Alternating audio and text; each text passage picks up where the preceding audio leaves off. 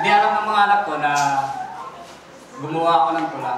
So, kahapon, iniisip ko anong talent na kaya ano ko, mag, maglalaba ba ako, magluluto, kaya gagawa ako ng... Mahilig kasi ako magkalkal ng motor. So, yun lang yun. Ano. Kagabi, hinintay kong pumasok sila lahat. Tapos, nagpaiwan ako sa labas. Nagsulat ako ng tula. Pero hindi ko na sina memorize So, maiksi lang, parang may chance ang iba. sa, so, ang aking title sa tula ko ito, sa aking asawa.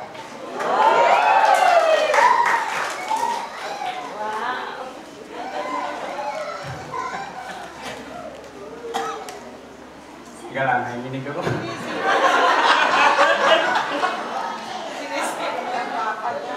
Hindi ko inakala na tayo nagkakilala. Puso ko inabiyak mo sa taglay mong ganda. Hiniling ka sa Diyos at kasama sa dalangin. Nais na makasama ka sa buhay na tatahapin.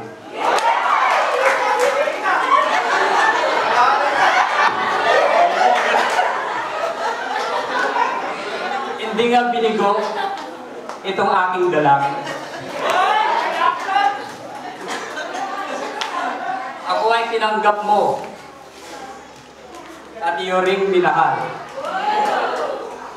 Sa biyaya ng Panginoon, hiling nating natupad. Malusog at masayang pamilya na aking hangad. Salamat, Margo. Salamat sa lahat. Sa tiwala, pagmamahal, at sa iyong pag-iingat. Pangakong mamahalin ka habang ako'y nabubuhay. Saksi ang anak natin at Diyos na siyang gabay. Thank you, Martin.